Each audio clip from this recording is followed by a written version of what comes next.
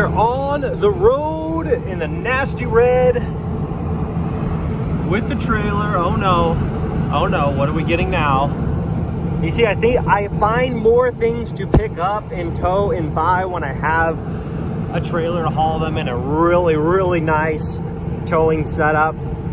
It, it, it's kind of a bad thing because I just really want to buy more stuff when I have a truck that does everything so well. I mean, it's I don't I don't know what to do, guys. I just I find a deal and I'm like, well, I mean, I've got a truck to tow it with pretty easy, so sure, let's go find it. You know what I mean? Makes absolutely no sense, but uh, we are on our way, guys. Welcome back to another video here on the Loud 'N' Proud channel. We're on our way to go look at a second gen Dodge. Who would have thought a second gen?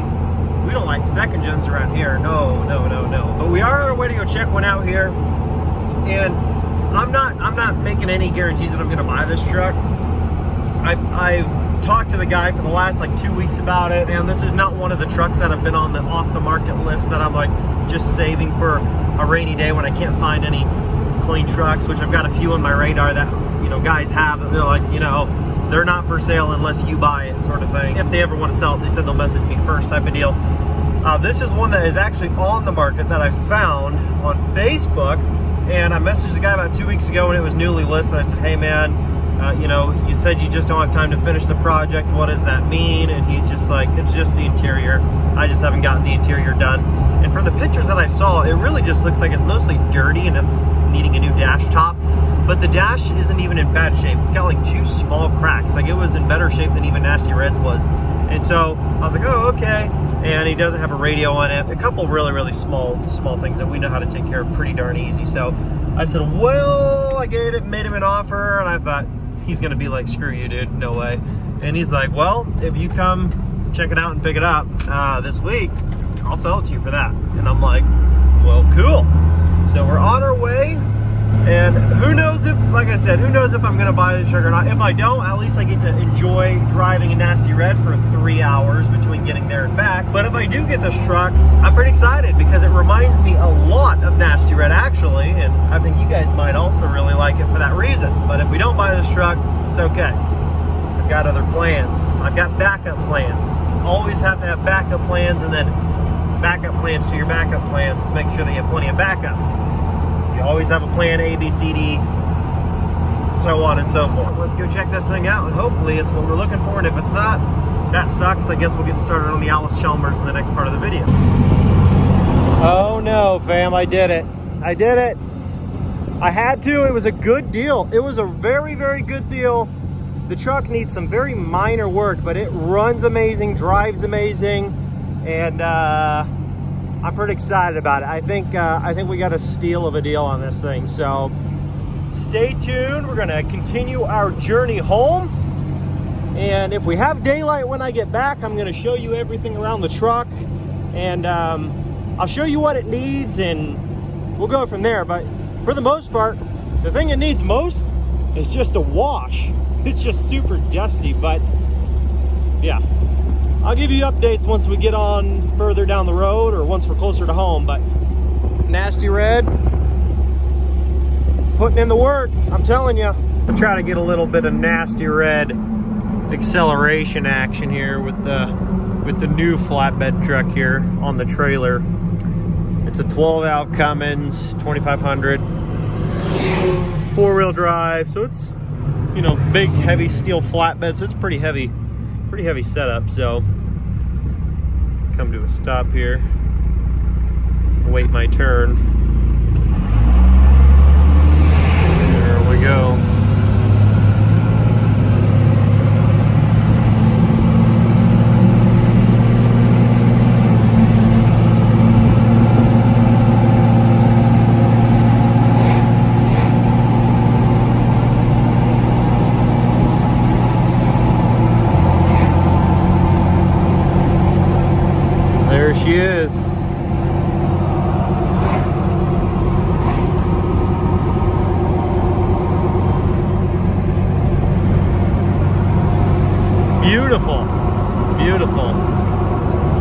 Okay, so we made it back all safe and sound about a little, little over an hour trip.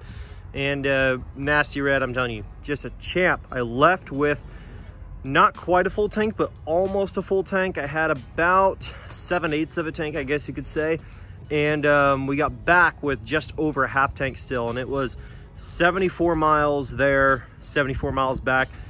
On the way there, obviously I had an empty trailer, um, 20 foot car hauler. And then on the way back, obviously I had a loaded trailer with a heavy truck on there. So let me show you around this thing real quick, the best that I can before we lose too much daylight here. So there's the Nasty Red, just a towing beast. There's the truck. There's the towing airbags and stuff. Works wonders. We've actually got it to where you can air them up and air them down right here through the license plate. And it's, it's pretty slick, not gonna lie. So here's the truck. It's a 1997 12 valve Cummins. Beautiful, beautiful truck. The truck's got some minor cosmetic flaws, like for example, the bumper. We're gonna have to do something with this because the paint just didn't stick very well to the plastic on the bumper. He's like, yeah, didn't turn out as nice as I thought it was to be in terms of the plastic. He's like, I thought it would be cool to have the plastics painted, but he says the plastic just, just, the paint's just not sticking to it very well. So uh, that we might, I don't know what we're to do for sure, but we're to have to do something with that, obviously, because it's chipped up right there. And then in terms of on the side, the door has like some, uh, like a very, very faint dent here and a very faint dent here. And I don't know why, like from the side, you really can't see it. But if you're like from this angle, you can kind of see it a little bit right there. But for the most part, it's the thing is like super straight, super clean, and it was all redone. So the whole cab was completely redone, and then the whole underside of the truck was completely redone as well. Like everything was sandblasted and repainted. So uh, the bed is actually a custom built flatbed. The guy that owned the truck built the bed. I'm guessing that's what the business name was, was Mike's Trailers. Not 100% sure, but I'm guessing uh, because this was his personal truck.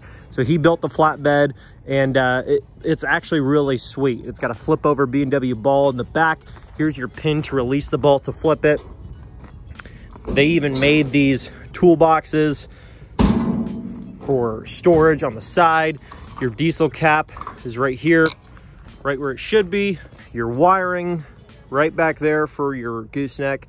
And then you've also got wiring back here as well. And uh, everything is just very, very well thought out and very well put together.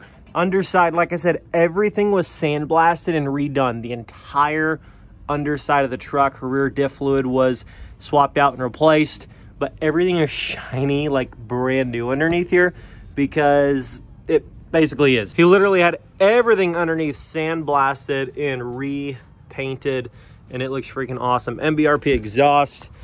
Right now it's rocking some third gen stock 17s that are 35 by 1250s. They're freaking huge. Hardly fit on this truck. You got about four inches of space above it, two or three inches between the side of the bed. Only like an inch and a half, two inches between um, the tire and the other toolbox here. Absolutely no rust on the truck. No rust on the body, no rust underneath. Everything is super, super clean. I mean, he literally had everything redone. Everything was sandblasted. It wasn't just like painted over. I mean, everything was redone. All new brake lines and brackets. I mean, it is so shiny clean under here new oil pan gasket. He had the engine out and he resealed a bunch of stuff. Brand new transmission. Drive shaft was sandblasted and repainted as well. So very minor things that it needs. Like I said, very, very minor things in terms of mechanics of the truck. Brand new transmission. Engine had a bunch of stuff resealed on it. New brakes all around, lines, brackets uh, new vacuum system for the four-wheel drive to lock up and all that. And I think, is that it or is that all gauges work on the inside of the truck? Pretty excited about it. So we're gonna get this thing backed off the trailer here. And the first thing it needs is a freaking wash.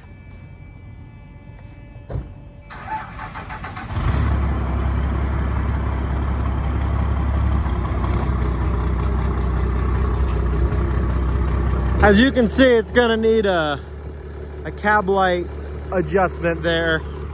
It's definitely got, that one's flickering, comes and goes, and that one's not even on. But I mean, it sounds good.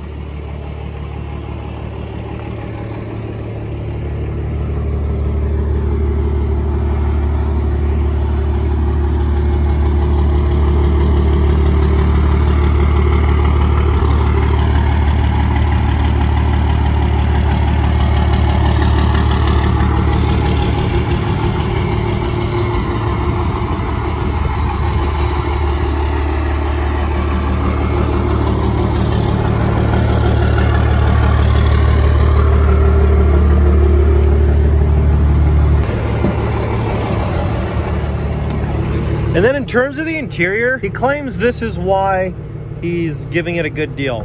The interior is not done, which is true. The dash has uh, got a couple cracks in it, missing a grab handle there. The headliner looks like it was replaced at some point, but it doesn't look as good as it would with just like a factory one. Seats are in pretty good shape other than a little rip right here. Back seats in pretty darn good shape. Actually, I was wondering if he even had these. There's a cup holders.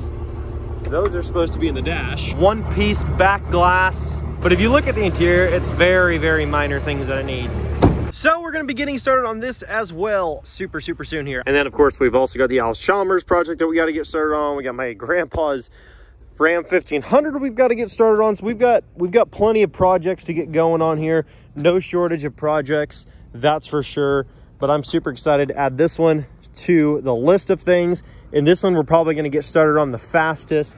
And then when we're waiting on parts and stuff for this to finish that up, we're probably going to get going on the tractor. And then my grandpa's truck, we're probably going to wait on that a little bit longer to get the paint and body work restoration done because this is going to be priority one that's going to be priority two. And then the truck is going to be on the list there, but just not at the very, very top quite yet, just because it's getting into the time of year anyways, where we're not going to like want to drive it as much once it's redone anyway. And so I'm not like urgently trying to get it done so I can drive it around all summer. You know, we're getting into the fall where the truck's probably not going to get driven as much anyways coming up soon if it were to be all redone. So I'm wanting to wait on that just a little bit more, but it'll be done soon. What should we do with the bumper? Like I said, the paint's chipping on the plastics of the bumper. Other than that, the bumper's the bumper's fine. It's just the plastics are chipping. And then it needs a couple of other small things in terms of interior, like some bezel stuff, dash top needs to be replaced, and then like grab handles and just some small stuff. We'll get all that stuff ordered literally tonight, and then that stuff will all be in soon, and then we can get to buttoning up the interior.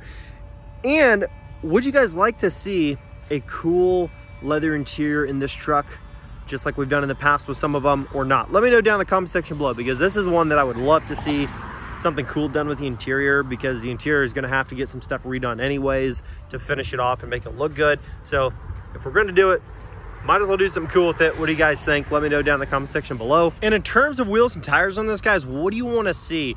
I'm thinking about going with like some 16 by 8s or 16 by 9s on this thing like the bullet hole style you guys let me know only because the type of bed that this is unless we put a huge lift on it it's probably not going to be able to clear anything that's super wide but it's up to you guys we'll make whatever work you guys want but i do think this would be nice if it was kept as a super good tow truck don't forget that if you want to enter to win this beautiful 2003 5.9 cummins plus $5,000 cash. The truck's only got 84,000 miles on it. It's a freaking awesome, beautiful truck. If you want to get entered to win, it's this easy. Go to lnpgear.com, buy anything you like on the store. It could be a hat like this, a shirt like this, backpack like this one. Can't hardly see it. It's Mountain Dew themed, but it's it's an LNP Gear backpack. And every $1 right now for this last week is gonna get you 20 entries to win. Every product gets you 20 times entries right now only until the last day, which is in just seven days on October 13th. And then the giveaway for this truck plus $5,000 cash is gone. So get in while you can, guys. Best of luck to you. Somebody's got to take this truck home. Might as well be you. Thanks so much, guys. I'll catch you in the next video. Peace.